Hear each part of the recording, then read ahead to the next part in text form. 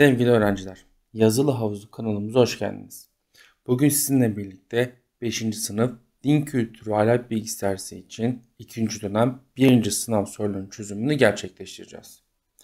Birinci sorumuz, adab ve nezaket nedir? Adab, edep kelimesinin çoğuludur. Edep ise iyi ahlak, güzel terbiye, eğitim demektir.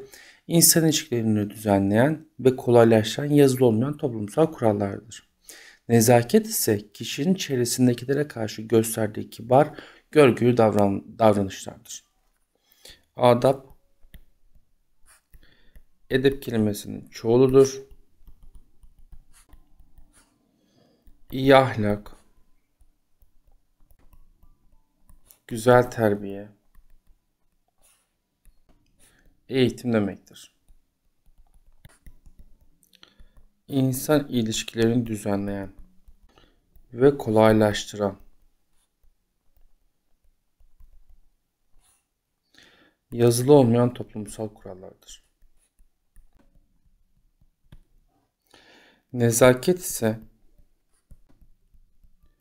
kişinin çevresindekilere karşı gösterdiği kibar, görgülü davranışlardır. Aslında burada bizim için kilit olan kısım gösterdiği davranışlardır. Nezaket demek kişide var olan şu edep kurallarının görünür hale gelmesidir. Bu şekilde aklımızda tutabiliriz. Adap yani edep iyi ahlaklı, güzel terbiyeli olmak için sahip olması gereken kurallardır. Nezaket ise bu kuralların görünür hale gelmesidir.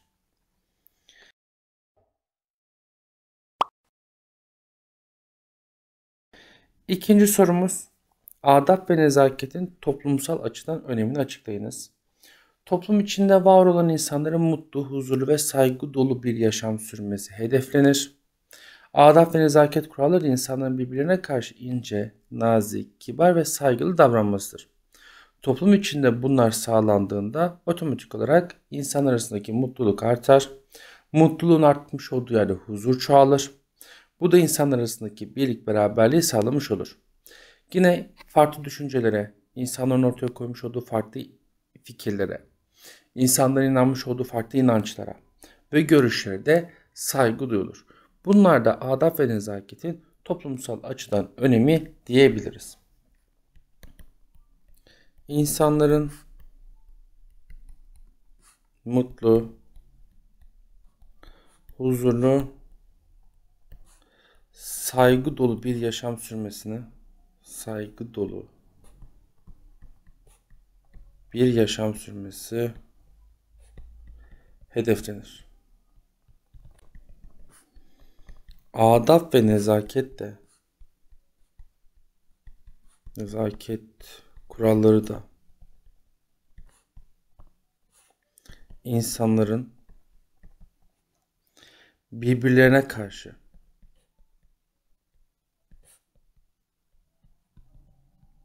ince, nazik ve say nazik, kibar ve saygılı olmasıdır.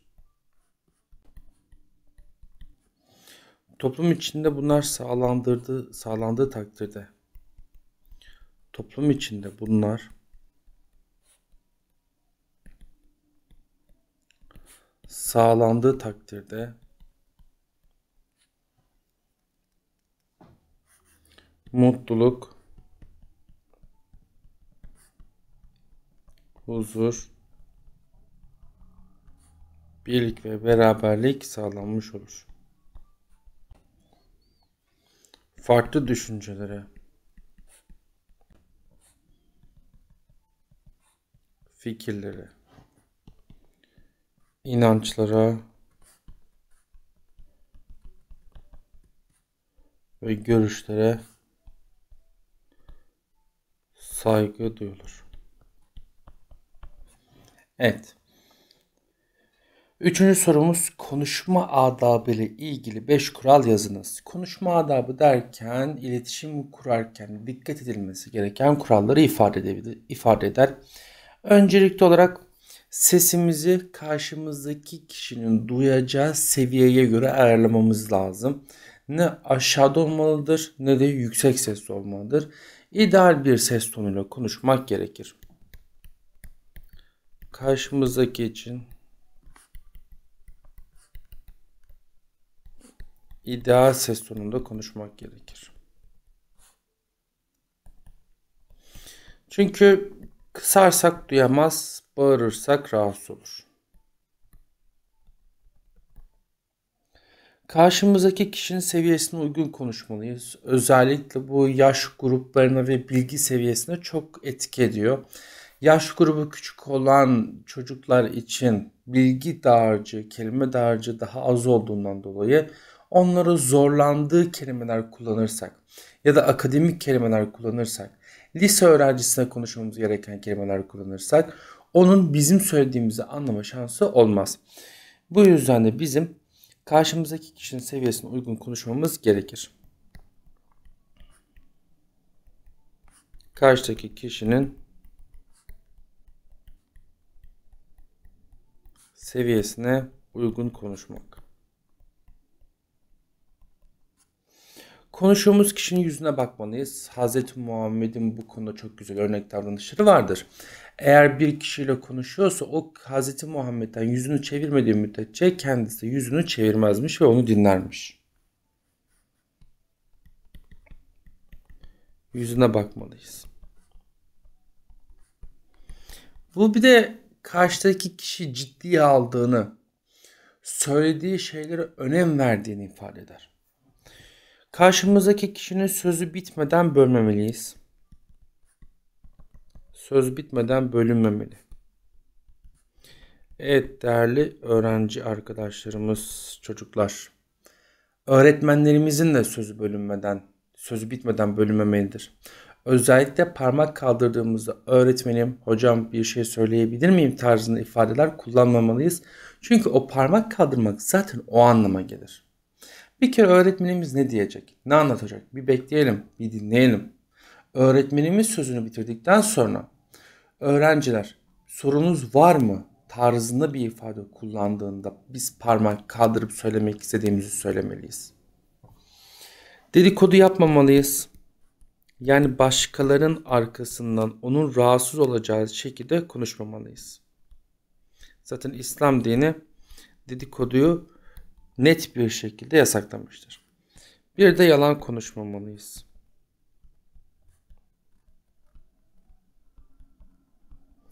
Evet burada bizim için bir de jokerimiz var. O da 6. Üsttekilerin yerine yazılabilir. Mahremiyet nedir? Önemini belirtiniz. Bir toplum için insanların sahip olduğu özel yaşam alanıdır. Toplumun bu alanın belirlenmesi etkin bir rolü vardır. Bu alan kişinin dokunulmazlığıdır. Başkaları izin almadan müdahale edemez. Kişi bu alanı bilirse kendi sınırlarını daha iyi belirler ve başkalarının sınırlarının da farkında olup aşmaya çalışmaz. Bu da özel hayatın korunmasına katkı sağlayıp hedeflere ulaştırılmasında yardımcı olur. Yani biz mahremiyeti en genel ifadeyle özel hayat diye çevirebiliriz. Ee, insanlara sahip olduğu özel yaşam alanıdır.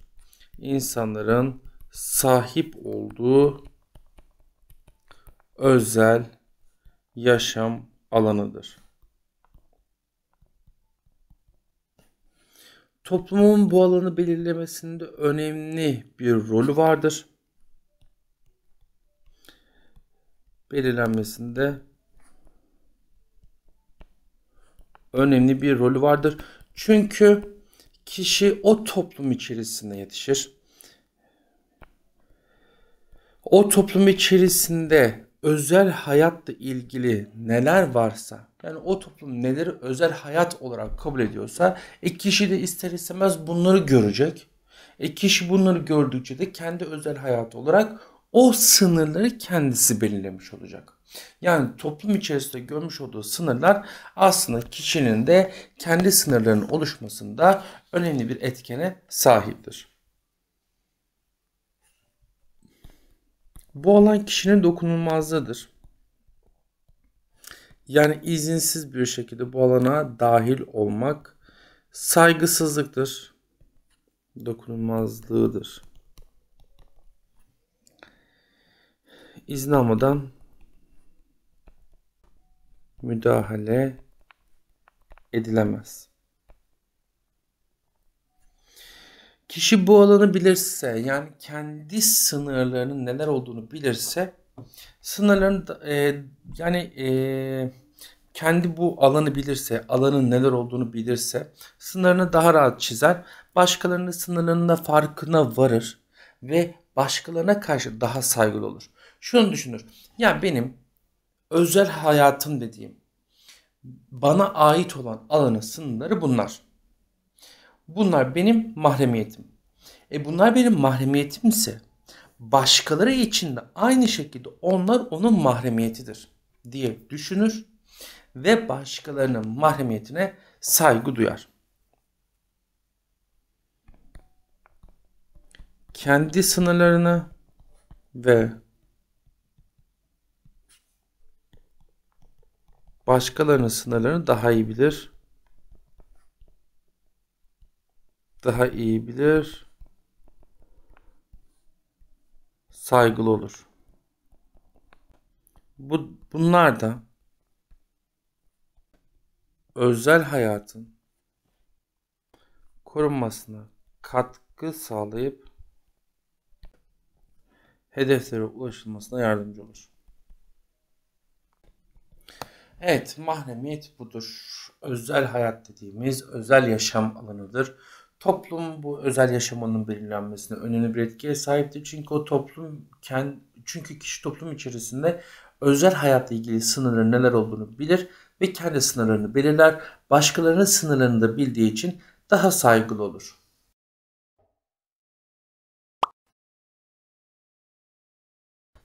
Sofra adabı nedir? 5 örnek veriniz. Yemeğe başlamadan önce yemek yerken ve yemekten sonra uyulması gereken kurallara biz sofra adabı diyoruz. Ee, bir kere e, sofra adabı nedir? Bunu bir açıklayalım. Yemekten önce yemek sırasında ve yemekten sonra uyulması gereken kurallardır. Bir kere elleri yıkamak.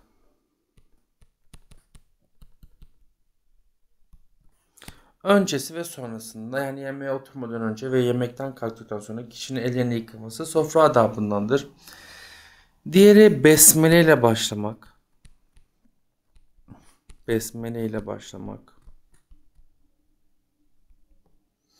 Bir diğeri önce büyüklerin başlamasını beklemek. Zaten meşhur bir söz vardır. Sofra büyüğün, su küçüğün derler. Önce büyüklerin başlamasını beklemek. Herkes zemini bitirdikten sonra sofradan kalkmak.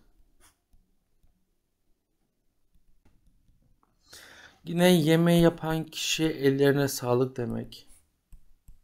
Yemeği yapan kişiye ellerine sağlık demek. Bir de yemekten sonra sofradakilere afiyet olsun demek.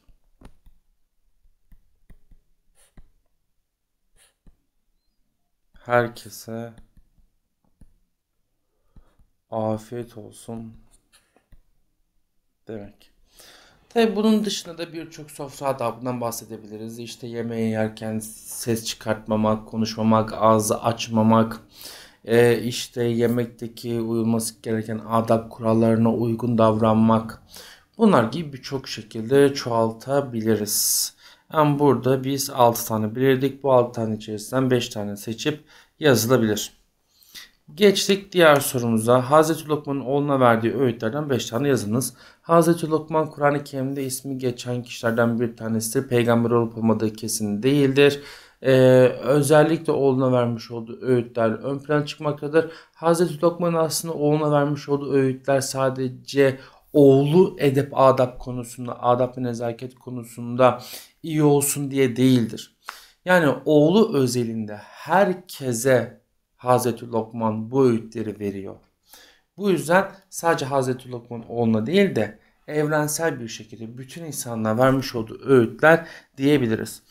Bunlardan birincisi kişinin teyit inancına sahip olması, şirkten uzak olması diyebiliriz. Yani Allah'ın varlığına ve birliğine inanmak. Bir, Allah'ın varlığına ve birliğine inanıp şirkten uzak durmak. Yani tevhid inancına sahip olmak. Şirk demek Allah'a ortak koşmak demektir. Yani Allah'a inandığı halde başka tanrıların varlığını da kabul etmek demektir. Ee, şirkte Allah'a inanıyorlar ama tek olduğuna inanmıyorlar. İkincisi anne babaya saygılı davranmak. Anne babaya saygılı davranmak. Üçüncüsü yürüyüşüne dengeli olmak. Aslında burada kibirli olmamak desek de olurdu ama e, Hazreti Lokman'ın öğütleri içerisinde yürüyüşünde dengeli olmakla kibirli olmamak ayrı ayrı öğüt olarak ifade edilir. İnsanları küçük görme. Yani insanlara tepeden bakma. İnsanları kendisini, kendinden daha değersiz görme, daha başarısız görme. İnsanları küçümseme. Beşincisi sesini yükseltme. Yani itidale dengeli ol demek istiyor. Konuşurken üslubuna dikkat et. Üslup demek konuşma kuralları demek. Bir de kibirli olma. Bunların içerisinden 5 tane seçilip cevaba yazılabilir. Yedinci sorumuz okulda uyulması gereken kurallara 5 örnek veriniz. Aslında bütün öğrencilerin bildiği ama ilginç bir şekilde hiçbir öğrenci uymak istemediği kurallarımız. Bir kere parmak kaldırmadan konuşmamak gerekiyor. Kişi eğer parmak kaldırdığında öğretmeni söz hakkı veriyorsa o kişi konuşabilir. Tabi burada şuna dikkat edeceğiz. Eğer kişi parmak kaldırmak istiyorsa yanında öğretmenim, hocam bir şey sorabilir miyim, bir şey söyleyebilir miyim tarzında bir ifade kullanmaması gerekiyor. Zaten parmak kaldırmanın anlamı öğretmenim ben bir şey söyleyebilir miyimdir. Dolayısıyla tekrar tekrar bunu sözlü olarak söylemenin hiçbir anlamı yok. Her öğrenci parmak kaldırdığında aynı ifadeleri kullanırsa o sınıf içerisinde ders işlemek maalesef mümkün hale gelmez. Parmak kaldırarak konuşmak. Okul malına zarar vermemek. Okul dediğimiz yer kamu malıdır. Yani bütün insanların kullanımına sunulan ortak bir alandır. Biz gideriz orada bir sene, iki sene, üç sene vesaire okuruz. Bizden sonra aynı sınıfta, aynı sıralarda, aynı tahtaya bakarak başka öğrencilere eğitim alır. Eğer biz gidip bize emanet edilen o okul malına zarar verirsek bizden sonra gelecek öğrencilerin eğitim alma hakkını engellemiş oluruz. Bu yüzden bizlerin bütün insanların el emeğiyle vermiş olduğu vergilerle yapılan o okulların korunmasına özen göstermemiz gerekiyor. Temiz tutmak, temiz olmak, işte okul bahçesi olsun, okul koridorları olsun, sınıf içi olsun, masalarımız olsun, sıralarımız olsun. Buraları temiz bir şekilde kullanmamız gerekiyor. Çünkü biz aslında 2 sene önce, 3 sene önce pandemi döneminde temizliğin ne kadar önemli olduğunu gördük. Temizlik dediğimiz şey kişinin sağlıklı bir şekilde yaşamını sürdürmesi için olmazsa olmazlardan bir tanesidir. Sadece ben attım işte başkaları yorulacak tarzda düşünmememiz gerekiyor. Kendi sağlığımız açısından da düşünmemiz gerekiyor. Nitekim az önce de söylediğimiz gibi sağlık yani o kadar kötü etkiler olabiliyor ki o temiz olmamanın O yüzden bizim bu konuda dikkatli olmamız gerekiyor. Yani bir de sonuçta o bizim pislettiğimiz yerleri başkaları temizliyor. Onun hakkına da girmemek gerekiyor. Dersi bölecek davranışlarda bulunmamak. İşte yok bir arkadaşımızla kısık sesle konuşmak. Yok masamızı gacır gucur ettirerek çekmek. Bunlar yapılmaması gereken davranışlardır. Arkadaşlara zarar vermemek. Buna da dikkat edilmesi gerekiyor. Çünkü bu artık hukuki boyuta kadar varan neticelere neticelerle sonuçlanabiliyor. O yüzden dikkatli olmamız gerekiyor. İnternet kullanılırken nelere dikkat edilmelidir? Bir kere uzun süre internet kullanılmamalıdır. Her yaş grubunun ne kadar süre ekrana bakması gerektiği ile ilgili birçok araştırma yapılmıştır. Özellikle 5. sınıf anlatıyoruz, ortaokul çağı. Günlük 45 dakika 1 saat civarında bir öğrencinin ekrana bakma süresi vardır. Bundan fazlası o kişi için zararlıdır. Ailemize, kendimize ve başkalarına ait özel bilgiler, fotoğraflar veya videolar paylaşılmamalıdır. Bunun çok ciddi hukuki sonuçları olabilir. Kişinin hapse atılmasına kadar sonuçlara gebedir diyebiliriz. Başkalarına ait eserleri izni olmadan çoğaltamayız ve paylaşamayız. Çünkü bu telif hakkıdır. Telif hakkı hem İslam dini tarafından koruma altına alınmış, almış, alınmıştır hem de bizim kendi kanunlarımız tarafından koruma altına alınmıştır. Bunun tersi yani kullanmak korsan yayıncılıktır. Korsan yayıncılığında yine dediğimiz gibi cezası vardır. Kötü niyetli insanların varlığı hiçbir zaman unutulmamalıdır. Yani karşımızda konuştuğumuz kişinin farklı biri olabileceği, kötü niyetli olacağı, bizimle ilgili olarak farklı niyetlerin olabileceği hiçbir zaman aklımızdan çıkarılmamalıdır. Hesaplarımızı takip etmek isteyen yabancılara karşı ailemiz bilgilendirmelidir. Onlardan destek alınmalıdır. Her bizi takip etmek isteyeni kabul etmemeliyiz.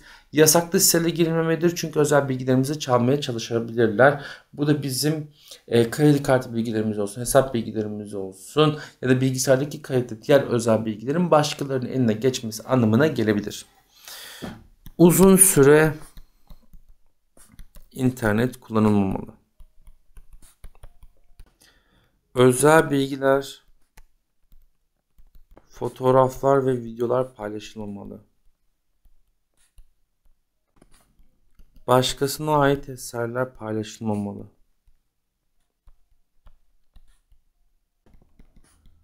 Kötü niyetli insanların varlığı unutulmamalı.